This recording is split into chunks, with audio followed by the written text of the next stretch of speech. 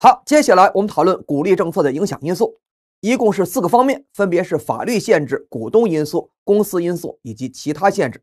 好，我们先来看法律限制，一共是这么五个方面。首先是资本保全限制，就是说公司发放股利不能侵蚀资本，换句话讲，不能用资本来发放股利。这里的资本呢，包括股本，也包括资本公积。这个要求其实不难理解。股利是利润分配，分给股东的那得是公司赚来的钱，而不能是股东投给公司钱，对吧？其次，企业积累的限制就是大家耳熟能详的，公司的税后利润必须要先提取法定公积金。好，接下来净利润的限制，明确累计净利润为正数才能够发放股利，而并非是当年净利润为正。比如公司。年初有一千万的未弥补亏损，而公司呢当年盈利了八百万元，可以发股利吗？不可以，对吧？因为当年盈利的这八百万元抵了年初这一千万元的累计亏损之后，累计亏损还是负的两百万元，公司累计仍然是亏损状态，而并不是累计盈利状态，所以呢仍然不能进行股利分配。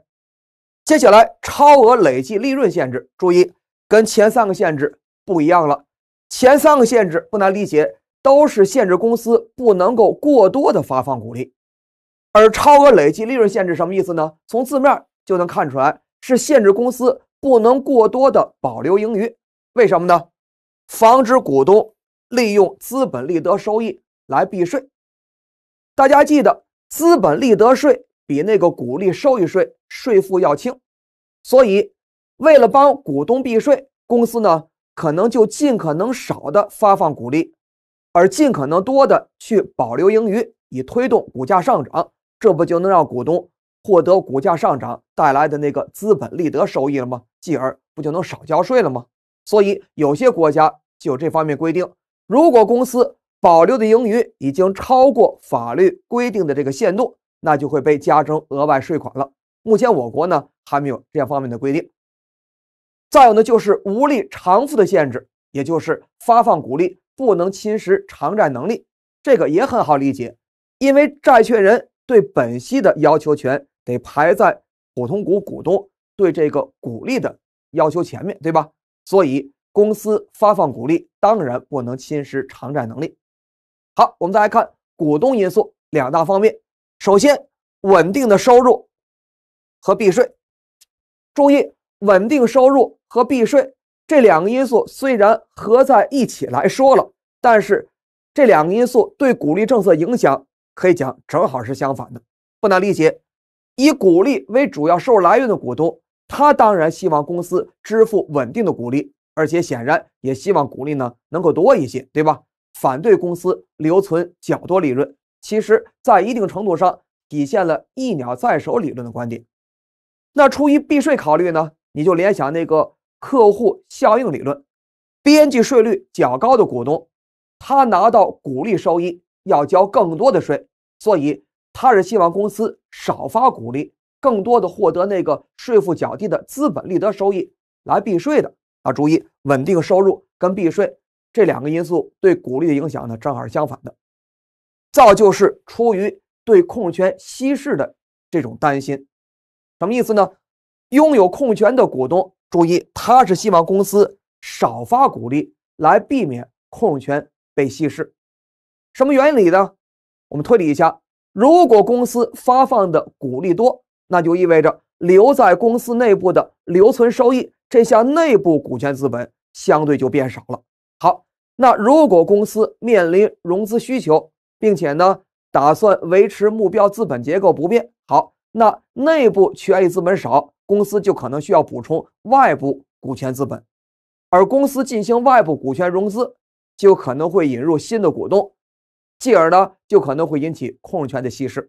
那所以，为了避免控权稀释，拥有控权的股东呢，他就希望公司是少分配多留存，尽量呢避免增发新股。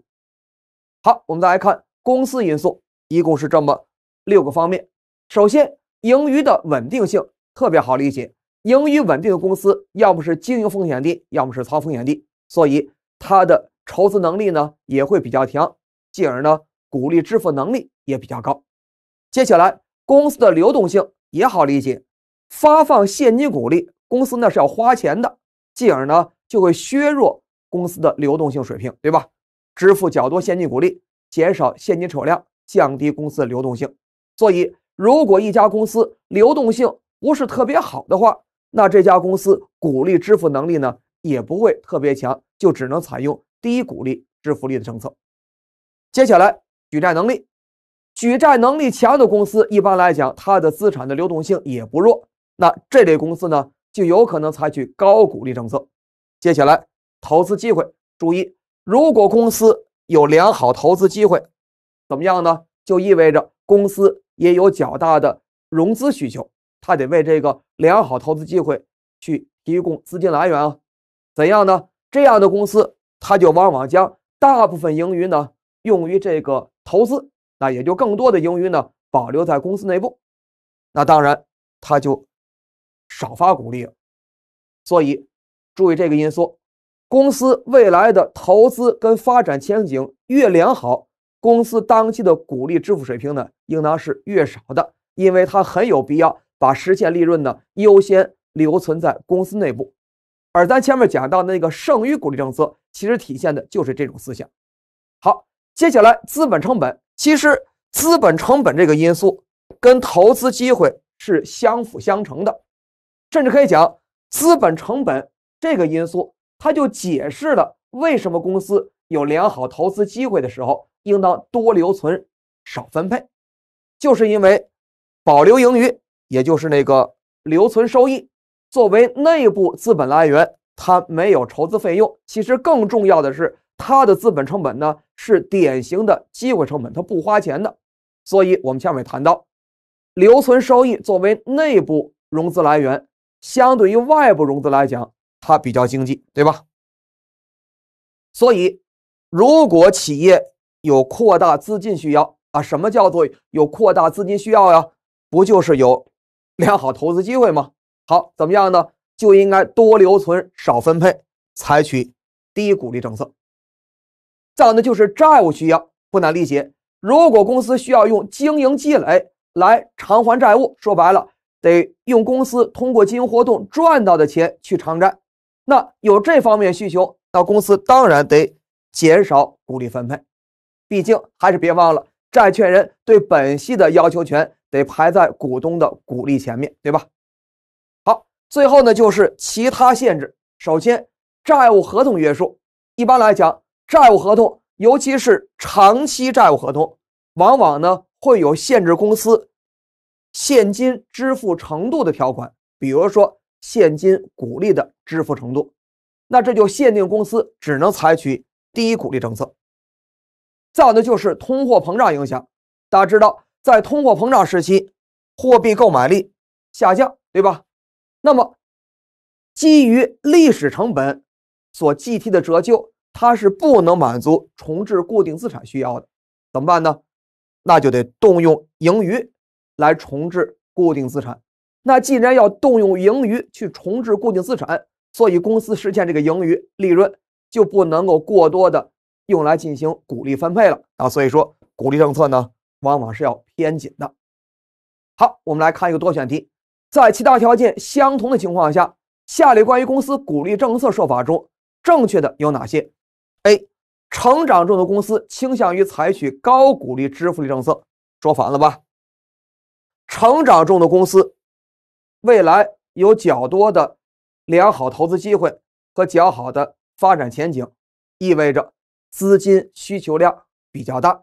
而咱前面说了，公司在面临融资需求的时候，它首选应当是内源融资，也就是保留那个留存收益，因为它相对于外部融资来讲呢更经济。对吧？所以公司呢，应该是采取低股利支付政策，或者大家也能这么去理解：当公司面临较多的融资需求的时候，公司就不能把挣来的钱更多的去分配出去，显然不理性，对吧？你现在都缺钱了，你凭什么还把挣来钱更多的作为股利发出去呢？显然不合适，对吧？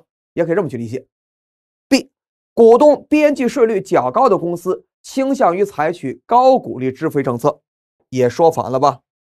来自于税差理论的思想，股东边际税率较高，他拿到股利收益就要承担更重的税负，所以他更倾向于让公司少发股利，而把利润留在公司内部，推动股价上涨，更多的获得那个税负较低的资本利得收益，所以他倾向于是低股利支付政策。好多选题，A、B 上来排除，这个局面太理想了，那只能是选项 C、D 正确，对吧？好，盈余稳定的公司倾向于采取高股利支付政策，正确。盈余稳定的公司股利支付能力较高，对吧举债能力强的公司倾向于采取高股利支付政策，也是正确的，因为举债能力强的公司流动性也比较好。它就可能采取高股利政策。本题答案呢，应当是 C 和 D。